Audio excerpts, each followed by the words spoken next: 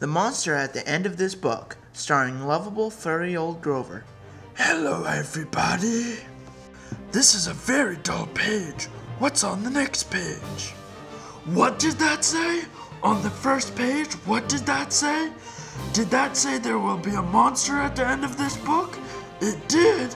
I am so scared of monsters. Shh. Listen, I have an idea. If you do not turn any pages, we'll never get to the end of this book. That is good, because there is a monster at the end of this book. So please, do not turn the page. You turn the page!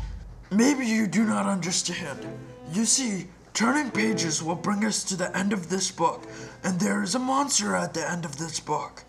But this will stop you from turning pages. See, I am tying the pages together so you cannot. You turned another page! You do not know what you're doing to me. Now stop turning pages! There! I, Grover, am nailing this page to the next one so you cannot be able to turn it, and we will not get any closer to the monster at the end of this book. Alright, alright, alright.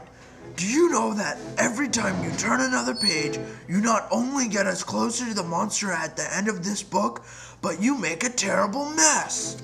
This will stop you from turning pages. A heavy, thick, strong brick wall. I would like to just see you try to turn this page. Do you know that you are very strong?